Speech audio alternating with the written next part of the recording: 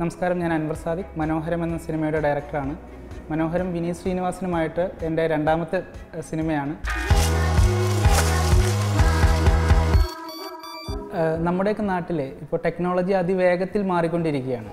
ഈ ടെക്നോളജി ഒരുപാട് പുതിയ തൊഴിൽ സാധ്യതകൾ നമുക്ക് നമ്മുടെ നാട്ടിൽ ഉണ്ടായിട്ടുണ്ട്. പക്ഷേ ഇതേ ടെക്നോളജിയുടെ വരവോടുകൂടി അന്യം നിന്നുപോയിട്ടുള്ള ഒരുപാട് തൊഴിലിടങ്ങളുണ്ട്.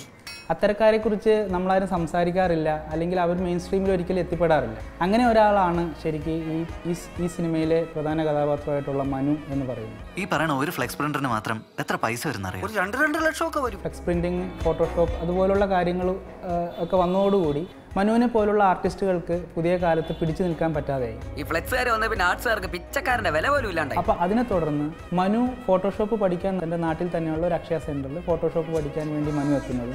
അവിടെ അവൻ അവനെ ഫോട്ടോഷോപ്പ് പഠിപ്പിക്കാൻ വരുന്ന ശ്രീജ എന്ന് പറയുന്ന കഥാപാത്രവുമായിട്ട് കണ്ടുമുട്ടുന്നത്. രസകരമായിട്ടുള്ള രംഗങ്ങളിലൂടെയാണ് സിനിമ പിന്നീട് മുന്നോട്ട് പോകുന്നത്.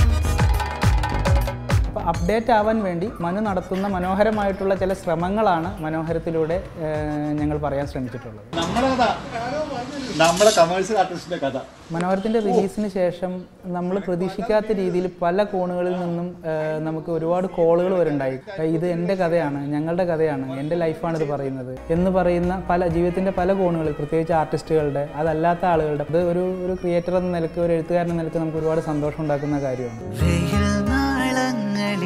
ചൂടുള്ള സുഖം. കുടുംബ സദസ്സുകളിലേക്ക് വീണ്ടും നിങ്ങളുടെ സ്വീകരണ മുറിയിലേക്ക് മനോഹരം എത്തുകയാണ്. നിങ്ങൾക്ക് തീർച്ചയായിട്ടും ഇത് മനോഹരമായിട്ടുള്ള ഒരു അനുഭവമായിരിക്കുമെന്ന് ഞങ്ങൾക്ക് ഉറപ്പുണ്ട്.